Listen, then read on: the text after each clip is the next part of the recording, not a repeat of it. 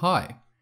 I started studying the Game of Life 6D application with the most simple rules I could imagine and what I have found is while it can be a little bit difficult to find simple rules which work at all, when you do, the results are usually quite interesting. And here you can see a simulation with only cells with one neighbors getting born. And the end result is quite interesting to look at. And here it seems to be starting to be evolving into some kind of galaxy shape. I used a starting condition where there was a little bit rotation but still symmetry. And the end result is that you it looks a little bit like the simulation is rotating and the initial conditions are somewhat lingering in the simulation and the form is preserved. And this is now a four-dimensional simulation of the game of life and as I said the, with the most simple possible rules imaginable. Cells with one neighbors getting born. And it's quite interesting to look at. I have also tried rules with one neighbors getting born and cells with two neighbors surviving. And that is also quite interesting because the rule cells with two neighbors survive leaves some forms in the simulation which stay the same. So it can be useful for preserving some kind of features in the simulation. But these simple rules here now are quite nice because it seems to be not really staying the same at all.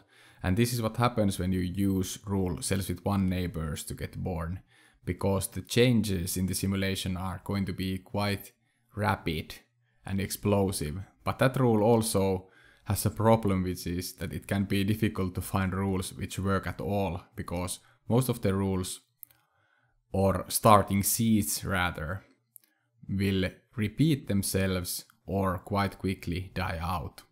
So it can be hard to find rules which actually work at all. But when you do, they usually produce quite interesting results. I'm doing this simulation with the Game of Life 6D application which is available for Android, iOS and Windows and in the description you can see the links where you can get it for yourself. And now I'm running this on a Windows machine which is quite good for larger simulations or if you like to use the application with mouse. But otherwise the functionalities are exactly the same even if you are using iOS or Android.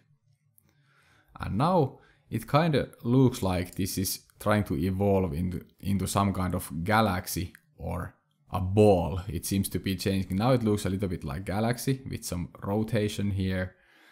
And on some other cycles, it can be more like a ball or a sphere rather.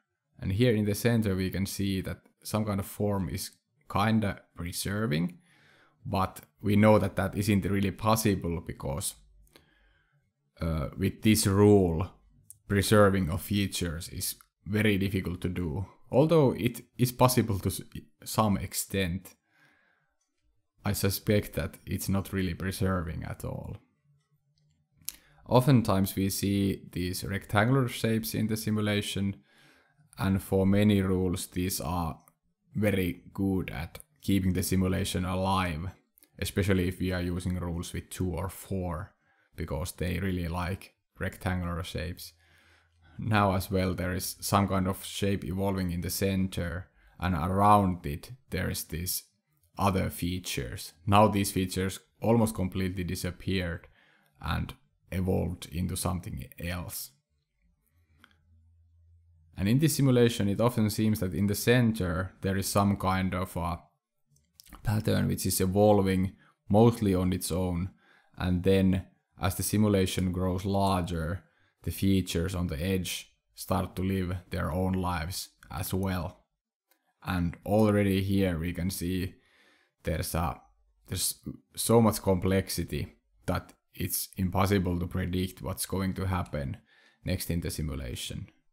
But as we know, in the start, there is only a very small group of cells where all of this expanded out from. Oftentimes for me, the most interesting parts of the simulation are in the start because it's more understandable. So I'm going to restart the simulation so we can see just the beginning steps of this simulation. And the first pattern was this nucleus of a galaxy. And then after that, all the other shapes come out. And in the beginning, this simulation is really struggling even to stay alive. If I change the rules even a little bit or the starting conditions, it's going to die instantly. And I looked through maybe a dozen of different ones before I found one which was feasible at all. And even now, if I change it only a little bit, it's going to die after a few cycles. And this beginning is quite interesting because there are these different phases of the simulation where it seems to be quite different, but then it goes back to some previous phase. For example, this phase is something which comes out later in a different form, and also these more geometrical phases die out and come out later in a little bit changed form. And this is something that also happens with the rule of one neighbored cells getting born, that it often tries to repeat itself and it often succeeds. But if you have just right starting condition, then it's not going to be able to repeat itself, but it just keeps on evolving into different shapes.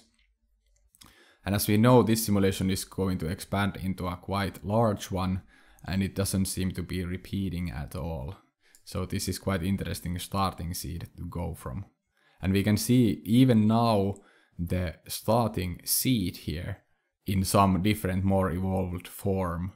So it's quite interesting that these shapes can stay in the simulation. Oftentimes it also happens that the beginning shape completely dies out and it turns into something else, but it's also possible for the shape to be preserved for the complete future of the simulation.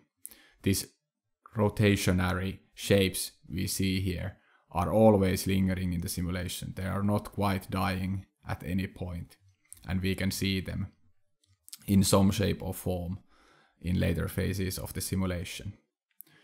But I think this is all for this video. I hope you enjoyed it and I will be back with some new content later on.